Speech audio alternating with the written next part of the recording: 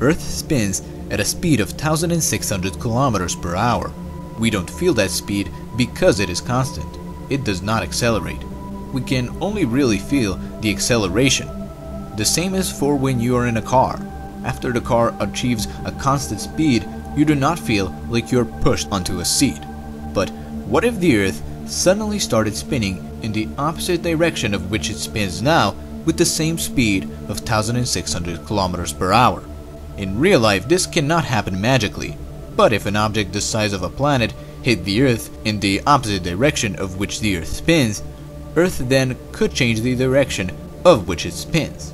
But also life on Earth would be completely wiped out. So then let's hypothetically say that the Earth all of a sudden started spinning in the opposite direction without a particular reason. So, if you were in a place where the sun was setting, all of a sudden the sun would start to rise. It would be very confusing for the people that are in that place, as the day would go on for 12 hours more, meaning they would get 24 hours of daylight in total. While on the other side, where the sun was rising, it would suddenly start to set, and the night would go on for a total of 24 hours. Here, people would likely go on sleeping many more hours. But just that fact alone will likely cause a lot of problems for humans. There would likely be a mass hysteria and things would not get done for those 12 hours. But that's just the beginning. First of all, jet streams would reverse. Jet streams are basically paths which hot air always crosses throughout the planet, and those paths will be reversed. This will cause for a dramatic change in weather. First of all, the UK and the Ireland will no longer be getting the hot air from the Atlantic.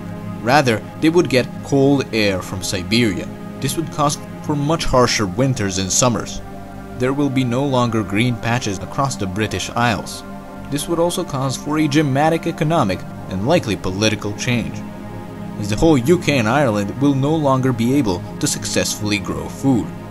But the rest of Europe would also not be in a good shape, as it would as well get cold air from Siberia. Huge clouds that were once around Japan would be moved to the west coast of the North America, causing for a difference in how much would it rain.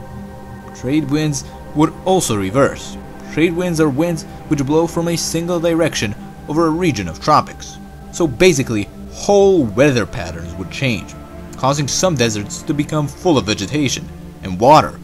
Largest desert Sahara could change to become just that.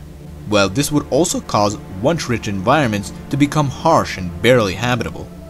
This would cause for massive changes in a political landscape.